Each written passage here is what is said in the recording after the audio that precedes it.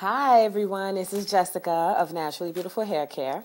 And what I want to talk about today is how to be really prepared for the transition to locks what that really, really means. We can go on um, YouTube and websites and we can Google, you know, what to expect during the transition physically with the locks. But there are also some things that we can we need um, to be prepared for that we may not have considered or even thought about. What I want to do in this video is attempt to break down all those major um, areas that I I have personally struggled with that I, and what I have seen my clients struggle with over the course of six years or so of providing this direct hair care service. Um, I want to also shout out one of my clients, Sheila, for helping uh, transcribe this list for me. She also, um, we, we, even this video was inspired from dialogue that we had as I was providing her retightening services. And I thought, you know what, this is something that um, I definitely wanted to get out there for people who are interested in locking their hair or who have recently locked their hair. This is also great for people who have been somewhere along um, into the process. It doesn't does there's no time limit. You're um, we are ever evolving and ever changing um, as our hair is. So some things may come up in different phases of our journeys. But one of the things that um, I wanted to preface this whole discussion is, when in regards to locks, is to first really, really understand why you are getting locks. Why is it that you want locks? Um, you know, uh, a, lot of people obviously want a hairstyle for cosmetic um, reasons, and then secondarily for some of the maintenance. And you know, it is um, a different way to maintain locks and it can become easier to maintain our hair. So, those two things I noticed are the most popular reasons why people want to get locked. Um, they see some locks, they look quite beautiful, and then they they say, you know, I really like the flexibility that locks provide me, um, whether they're very small, micro size, to big locks it is quite a transition from loose hair. One of the main things you should be prepared for is to put away a comb and be really prepared to not comb your hair. Um, it sounds simple sometimes, but um, it can be a transition for some people. Your fingers are your combs now, so how how easy is that? You'll never lose a comb, you've all, unless you don't have fingers. And sorry, you can you can find something to manipulate your hair, but you you, this is your comb. There's no need to comb your hair. Um, you're also gonna, for those who are getting interwoven locks, interlocks, Sisterlocks, you're gonna have minimal product, especially in the beginning phases. Minimal to no product. It all depends on where you are and what your particular loctician states. But for me and my clients, we're very minimal on the products because when you are locking your hair, your hair needs to, your hairs need to intertwine and essentially mat together. And any excessive product um, and conditioner will one detangle your hair because conditioners detangle, coat your strands, and number two can create buildup. So if you are a product junkie and a proud product junkie, you may go through a little bit of a detox and withdrawal as you have to um, scale down your products. Some of those products you can use later on in the process. You'll be able to then maybe put, bring back your oils and um, some of your conditioning shampoos. It all depends on, on what they are and where you are in the process. But for the most part, you won't need a lot of those products. They will not be effective for your hair, and all they will do is create buildup and heavy locks. And possibly even attract more lint and dirt, and then it, you'll you just have a big problem on your hands. Also, there this is a very emotional process. This is a very emotional journey. Um, for me, my hair started out the very minimum um, length, four inches or less.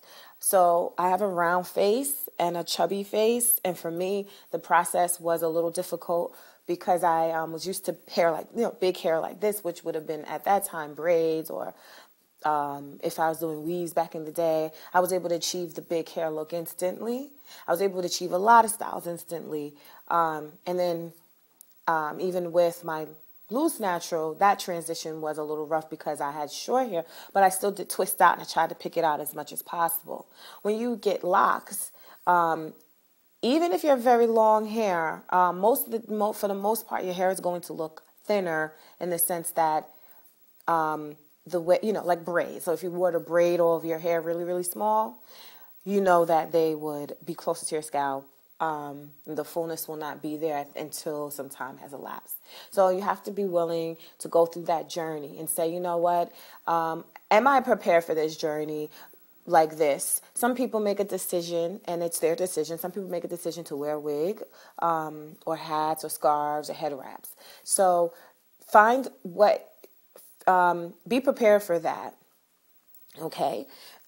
Also, from the from the get go, a lot of people get into the habit of comparing your hair to another person's hair. Do not compare to another person's hair unless you want to be disappointed because everyone is different, every lock um, looks different, and textures are different. So um, we may have the same or you know similar lengths of hair, but we have different fullness, scalp coverage, curl patterns, it could be di- different tensions and different tools used, and I explain in other videos what some of those differences can look like.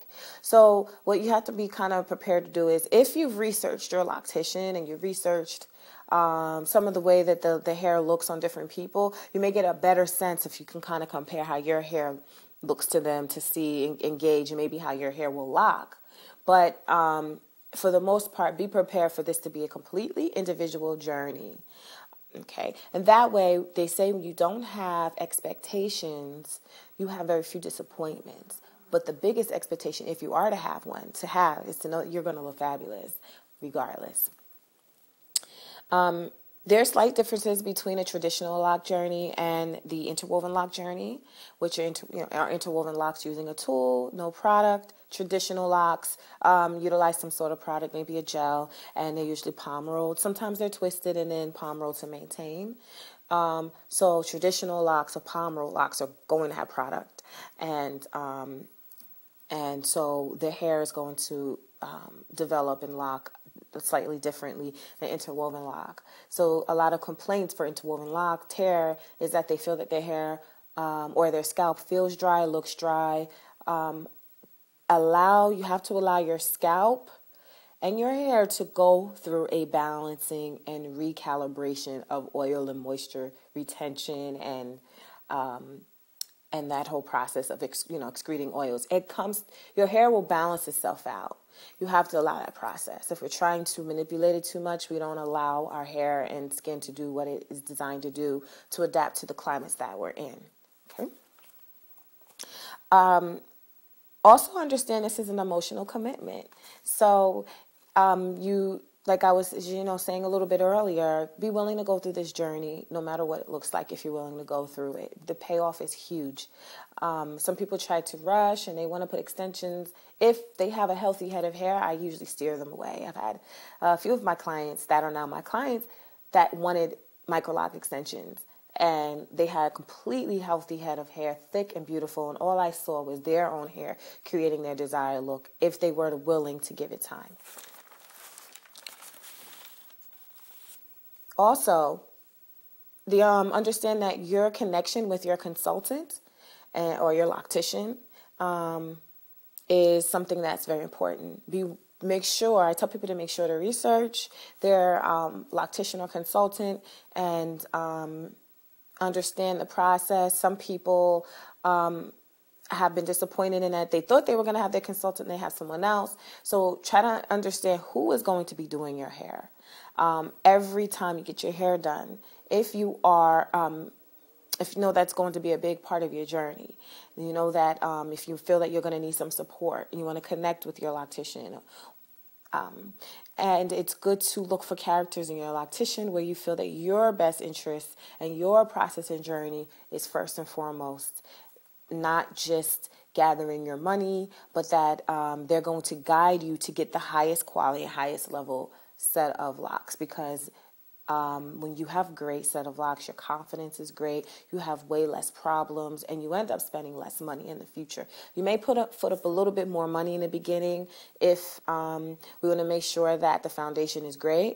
But if you have a great relationship with your loctician, they will explain that to you and um, do your part. Make sure you do your part to make, maintain the instructions that they gave you. Um, make sh- I also wanted to mention that what you in a style your stylist should also um, understand how difficult this process can be for clients, and they should never rush you. They should never make you feel bad. Um, should never tell you what you should do. They can guide you and say, as an expert, this is what we're going to do. And they also have a right to decline service if they feel that it's not a good fit. But um, you should also understand that this is an emotional and financial commitment for you. You are the one that's going to be spending your hard-earned money that you go to work for. So you have to make sure that you feel that your loctician or your consultant is not just taking your money and providing service and speeding through, and it's a race to see how quick retightening is. But yet, your, the ends of your hair are not looking like how you want them to look um, down the line. Our locticians should never take personal any of the decisions that we decide to have for our hair. Also, wait for the instructed time frame to color your hair because hair color, um, especially uh, store bought or um, some that have a little bit more harsher chemicals can change your texture. They probably will change your texture. And also, any and most especially that lighten can dry out your locks. So, um, in the case of uh, my interwoven locks, that could become impose a problem for my clients who um, color their hair. Um, they then may experience more drying, more frizziness, more puffiness because if you do not wait on the instructed time frame and you color uh, what I would call a little bit too soon in the process, you will um, have puffiness and swelling. So your locks then um, come out of the, the, the pattern a little bit more, they slip out a little more, and then it, swells out. And it also can become drier, which, in the, which down the line also leads to broken and brittle locks. The vision that you have for your hair when before you lock it and what you actually re- achieve may be different. And you have to be prepared to say, you know what, this is not an exact science. Um, I can lay, you can lay down a foundation, you can lay down um, the template for what you desire as far as size wise and, and even neatness and, and strength, but the end results end result may not be exact in how you thought your hair was going to look. And be okay with that you're still going to have fabulous hair and it's going to be your type of fabulous. There, um, well, also, um, I want this is a really important one actually. I want people to take the guilt out of the initial locking process. If you've been instructed and you are to do certain guidelines and you are following them and your hair is swelling, expanding, and doing its own thing as the creator instilled in the DNA of our hair and as a response to the environment, that's that's not your doing. Don't feel bad that your hair is taking a little longer to lock. Don't feel bad if you're doing everything as you've been instructed and you had a little bit of um, some locks that, you know, came a little bit untangled somewhere, but you've been doing everything you were supposed to do. It's okay. When you come into my chair, I'm not going to make you feel bad for following directions. That's insane. Um, nature has a wonderful way of doing its own thing. And maybe it was very humid between your retightenings. Um, maybe you you picked you stepped up your workout regime, but you still did what you were supposed to do, and maybe there's something that you could do that you did not know. Maybe you know wearing a bandana um, to absorb excessive sweat, and maybe you know whatever the case may be. So just say you know I'm going to surrender to the process, and I'm going to allow the process to happen, and I'm going to insert myself in facilitating the process I'm not going to hinder it. I'm not going to prevent it. I'm going to do as I've, I've been advised to achieve the look. But then at that, I must I must surrender. And so those are some of the major areas that I want you to know and think about as you go into the transition of getting locked hair. This is Jessyca Marshall of Naturally Beautiful Hair Care again, and I wish you very well on your lock journey. Feel free to contact me, ask me questions if you have. You want to leave any questions below, or if you want to email me through my website, you can at www.naturallybeautifulhaircare.com.